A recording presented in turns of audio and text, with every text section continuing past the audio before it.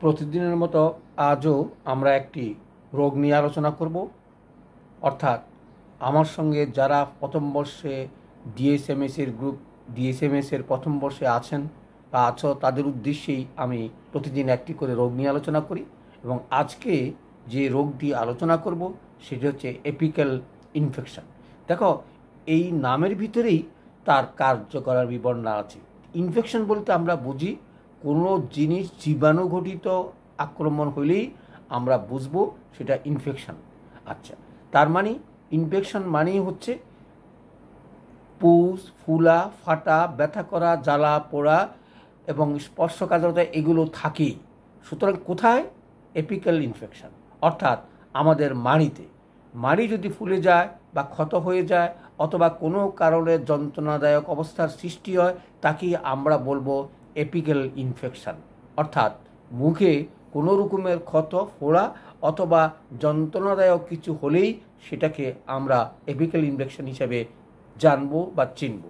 তাইলে এটা লক্ষণটা বুঝলাম এটা ক্ষত। লক্ষণটা হচ্ছে মাড়ি, গাল একসাথে ফুলে যাওয়া। অর্থাৎ ভিতরের ইনফেকশান বাইরে পর্যন্ত দেখা যায় এবং ক্ষতে গর্ত হয়। অর্থাৎ দাঁতে যেভাবে গর্ত হয়, মাড়িতে সেভাবে গর্ত হয়, অর্থাৎ মাড়ি থেকে পুজ এবং পেকে বড় হয়, পুজ যায় এবং সেটাকে অনেকটা আমরা পায়রিয়ার সঙ্গে তুলনা করতে পারি। অর্থাৎ পায়রিয়া যেসব কারণে হয় এসব রোগও সেই কারণে হতে পারে।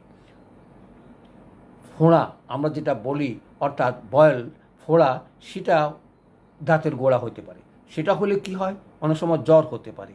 অথবা আমরা মৃত দাঁত, যেই দাঁত ক্ষয়প্রাপ্ত হয়ে আর কোনো ফাংশন করে না, যন্ত্রণাদায়ক হয়, সেখানেও এই পুজ, ফোড়া অথবা আমরা নালিঘা বলতে পারি, সেখানে এই সকল রোগ দেখা দেয়। তাহলে ওষুধগুলো কি? দেখো, এটার একটু বেশ কম হচ্ছে, এটা অনেক সময় এত ব্যথা যন্ত্রণা করে পুকে পেজ হয়ে, পোজ হয়ে গেলে, পোজটা বেরিয়ে গেলে অনেক সময় ভালো হয়ে যায়। অনেক সময় এরকমও অবস্থা হয় যে এটা গালের ভিতরে ইনফেকশনটা বাইরে পর্যন্ত চলে আসে। সে রোগ যদি দীর্ঘদিন হয় এবং দীর্ঘদিন হয়, তাহলে সেটা অনেক সময় ক্যান্সারের রূপ নিতে পারে। তাহলে এই যে জটিলতা, অর্থাৎ দাঁতের যে তিন চারটা তিন চারটা রোগের কথা বললাম, সবগুলোই ওষুধ একই রকম। অর্থাৎ আমরা সিস্টেমেটিক্যালি বা লক্ষণভিত্তিক ওষুধ দেওয়ারই চেষ্টা করব। তারপর আমরা রোগের নাম দৃষ্টে কেন মনে রাখার চেষ্টা করব? সহজে যেন ওষুধটা প্রয়োগ করতে পারি। তার অর্থ লক্ষণ ছাড়া হোমিওপ্যাথিতে কোনো ওষুধ হয় না। চলে আসি তাইলে তাইলে এখন বুঝলাম যে রোগটা কি এবং কীভাবে হয়। আসলে এই সকল রোগ সব কিছুই হয় দাঁত যদি পরিষ্কার করা না হয়, খাওয়া দাওয়ার পরে যদি আমরা মুখ ভালো করে কুলুকুচি না করি অথবা দাঁত দুই বেলা না মাজি অথবা অন্য কোনো কারণে অবহেলা করি এবং উগ্রদ্রব্য খাই, এ সকল কারণে হতে পারে। তবে এভিক্যাল ইনফেকশনটা সেটা নয়। অনেকটা সেটা আমাদের শরীরের অন্যান্য জায়গা যেভাবে বয়ের হয়ে থাকে অর্থাৎ ফোড়া হয়ে থাকে, সেই ফোড়ার টাইপেরই এটা হয়ে থাকে। সেজন্যই এই ওষুধগুলো ওই টাইপের প্রয়োজন হয়। যেমন প্রথম অবস্থা যদি আমরা বুঝতে পারি, জায়গাটা লাল হয়ে গেছে অথবা হঠাৎ করে যন্ত্রণা আরম্ভ হয়ে গেছে, তাহলে আমরা এখন আর দিয়ে শুরু করতে পারি। আর বেলেডোনা, লাল স্পর্শকাতরতা থাকলেই আমরা বুঝতে পারব, এই প্রাথমিক স্টেজে আমরা এখন আর বেল বেল দিয়েও আমরা চিকিৎসা করতে পারি। তারপর আর কি হতে পারে? আর পালস হতে পারে। অর্থাৎ প্রথম স্টেজে এই ওষুধগুলো আমরা দিয়ে চেষ্টা করব। বোরাক্সও আসতে পারে। অর্থাৎ লক্ষণ যদি তুমি বুঝো, জিব্বাটা হলুদ অথবা অথবা যন্ত্রণা বেশি এবং জিব্বাটা সাদা, তাহলে আমরা বোরাক্স দিয়েও চিকিৎসা করতে পারি। আর দাঁতের ব্যথা অনেক সময় ক্যামোমিলও আমরা বাচ্চাদেরকে অথবা মহিলাদেরকে, যারা সহ্য ক্ষমতা কম, তাদেরকে আমরা ক্যামোমিলা দিতে পারি। আর কি ওষুধ? যদি সেটা পেকে যায় অথবা পুজো, পুজোর মতন যদি অবস্থা হয়, পুজ যদি গলে, তাইলে হিপাসাল, এক নম্বর। দুই নম্বর আমরা কি দিতে পারি? মার্কসল। অর্থাৎ ব্যথা ব্যথা যদি কম থাকে, স্পর্শকাতরতা না থাকে, পুজ যদি হওয়ার উপক্রম হয়েছে বা এখনও হয় নাই তাহলে আমরা মার্কসল দিলেই অনেক সময় পুজ পুজ আর হয় না, বসে যায়। এস হিপাসাল তাই তুমি যদি ঠিকমতো হিপাসাল অথবা মার্কসল ব্যবহার করতে পারো, তাহলে অনেক কঠিন চিকিৎসা তুমি অনাহাসি করতে পারবে লক্ষণ মাফিক ওষুধগুলো দেওয়ার চেষ্টা করবে। আমাদের উদ্দেশ্য একটাই, অর্থাৎ রোগ তাড়াতাড়ি নির্মূল করা। তাহলে চলে আসি তারপরে কি হতে পারে? যদি ফোড়া হয়ে পুজ যায় বা ফেটে যায়, তাহলে স্যালিসিয়া দিয়ে আমরা দাঁতের চিকিৎসা করতে পারি। আর দু একটা ওষুধ আছে যেগুলো প্রয়োজন মাফিক আমরা ব্যবহার করতে পারি, সেটা হচ্ছে স্টাফিসিগ্রিয়া সালফার এবং নাইট্রিক অ্যাসিড। দেখো, স্টাফির আমরা জানি কীভাবে কখন আমরা ব্যবহার করতে হয়। আর সালফার, যেটা সর্বরোগেরই অনেক সময় যদি আমরা বুঝি মায়াসবেটিক ট্রিটমেন্ট অথবা শরীরে তার যদি এসব কিছু থাকে, তাহলে আমরা অথবা চিকিৎসা শেষ করতে হলেই অনেক সময় আমরা শরিক মায়া যেমন সালফার অথবা সোলোনাম দিয়ে রোগ শেষ করার চেষ্টা করতে পারি। সমূলে নির্মূল করতে গেলে মায়াসবেটিক ট্রিটমেন্ট ছাড়া কোনো দিন হয় না।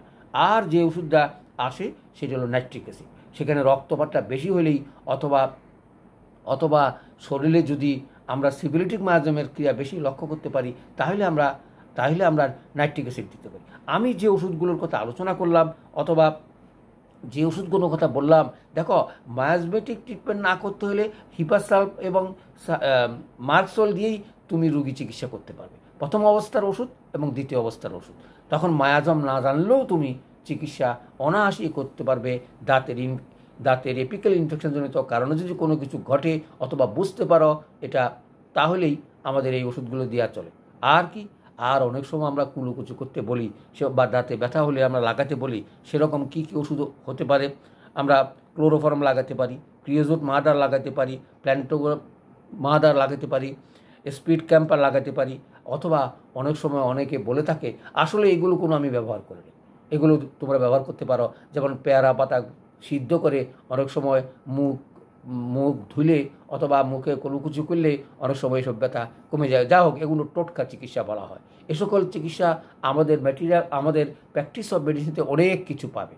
তোমরা প্রয়োগ করে দেখতে পারো। কিন্তু আমাদের কথা হচ্ছে চিকিৎসা যদি করতে জানো, তাহলে সকল রকমের চিকিৎসা আমাদের এই পঞ্চাশ বাক্স থেকে অনায়াসে তুমি প্রয়োগ করে রুগীকে শান্তি দিতে পারবে। তা না হলে তোমার, আমরা যেটা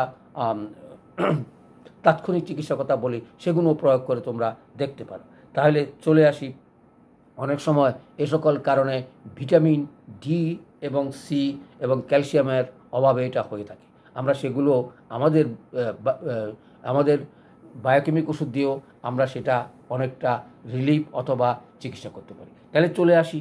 আমার আজকের এই এপিক্যাল ইনফেকশন নিয়ে আলোচনা আমি শেষ করতে যাচ্ছি। তার আগে একটাই অনুরোধ থাকবে, ডাক্তার শঙ্কর স্যার ইউটিউবে সাবস্ক্রাইব করে সঙ্গে থাকার চেষ্টা করবে। সবাইকে ধন্যবাদ।